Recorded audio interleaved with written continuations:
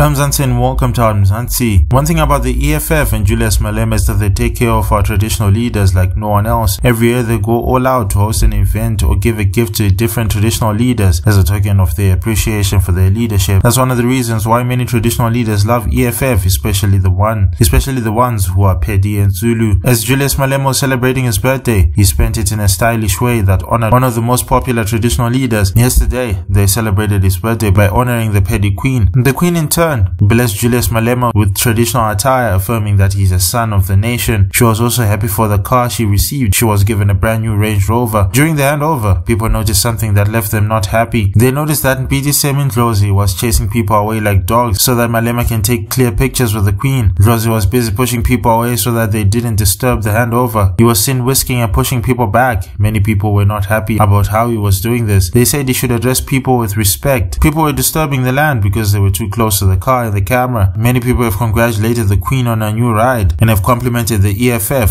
for their continuous recognition of their traditional leaders.